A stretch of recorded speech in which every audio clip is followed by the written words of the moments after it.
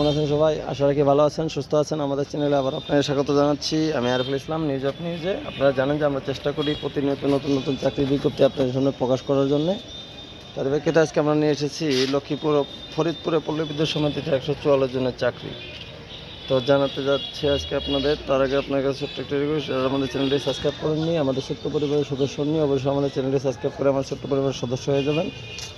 আর যারা সাবস্ক্রাইব করেছেন, তাদেরকে জানাচ্ছি ভালোবাসা, কৃতজ্ঞতা।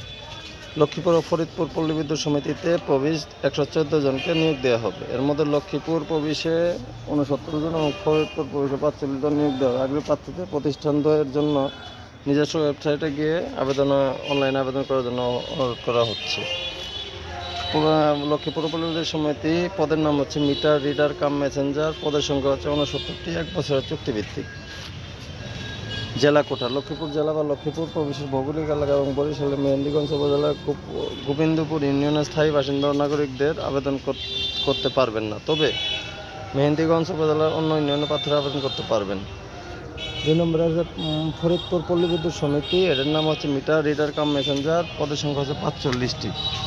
জেলা কোটাতে বলা আছে মোহাম্মদপুর পলাশ বাড়িয়া ইউনিয়ন, ফরিদপুর জেলার সব উপজেলা, মাগুরা জেলার মোহাম্মদপুর উপজেলা নড়াইলের লোহাগড়া উপজেলার লোহাগড়া, জয়পুর ও সালাননগর ইউনিয়ন এবং মানিকগঞ্জ জেলার হরিরামপুর উপজেলার আজিমপুর সুতালড়ি ও শেরসাগর ইউনিয়নের স্থায়ীভাবে বসবাসকারী পার্থক্য আবেদন করতে পারবেন।